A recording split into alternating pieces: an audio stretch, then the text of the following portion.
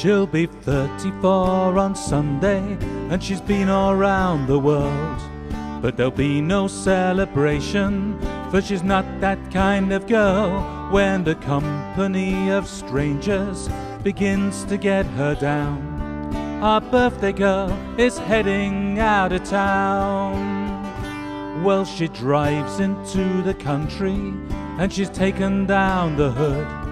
As the wind blows through her worries, it makes her feel quite good.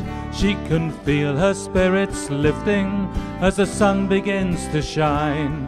Our birthday girl is leaving home behind. Will we miss her for her cooking or her grace? Will it take a year or two before we forget her face?